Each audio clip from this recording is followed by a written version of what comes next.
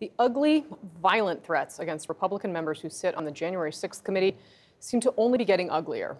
Today, Congressman Adam Kinzinger shared just a few of the recent calls and voicemails that his office received, including one that threatened his wife and his newborn baby. We will not be playing the entire three minute clip for you. You can find it on Twitter, but it is important that you hear some of the level of vitriol that these members are facing simply for standing up to Donald Trump.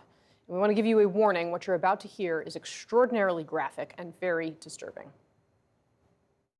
I guess I can't say a whole lot more other than I hope you naturally die as quickly as possible, you piece of shit. You backstabbing son of a bitch.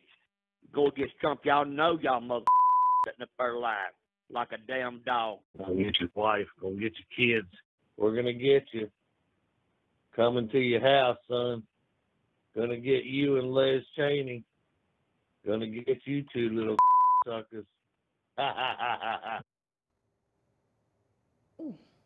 This is, of course, not the first time that Adam Kinzinger has received violent threats. It was just last month that he received a letter at his home threatening to execute him and his family. The very same online platforms that helped fuel the lies that led to the insurrection are also, in many instances, fueling this dangerous rhetoric. A new analysis shared with CNN by the nonprofit Advance Democracy showed that many users on these right wing platforms are openly calling for Liz Cheney to be executed.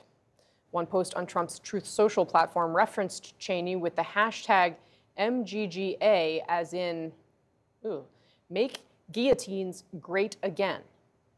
That's where we are. And if there is any doubt that political violence and threats have become the new normal, consider this. Threats against members of Congress are up 144% from where they were five years ago. The Capitol Police investigated nearly 10,000 cases last year alone. It is prompting grave warnings like this.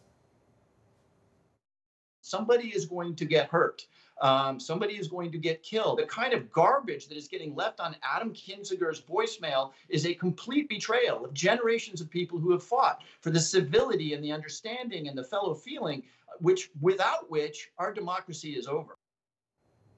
Whatever happens, we can't say that we weren't warned.